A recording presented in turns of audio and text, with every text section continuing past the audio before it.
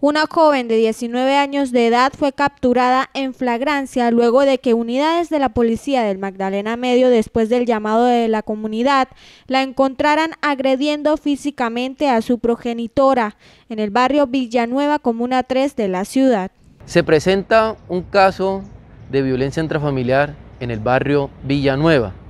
donde la comunidad llama a la Policía Nacional donde el cuadrante número 5 acude al requerimiento,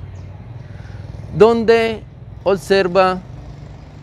un problema entre madre e hija, donde la hija está agrediendo físicamente a la madre, donde el cuadrante captura en flagrancia por violencia intrafamiliar a la hija. Persona de 19 años que es dejada a disposición de la Fiscalía General y un juez determinará su situación jurídica. La madre de la joven fue trasladada a un centro asistencial, mientras que la agresora fue capturada y dejada a disposición de la Fiscalía General de la Nación por el delito de violencia intrafamiliar, donde un juez de la República le definirá su situación jurídica.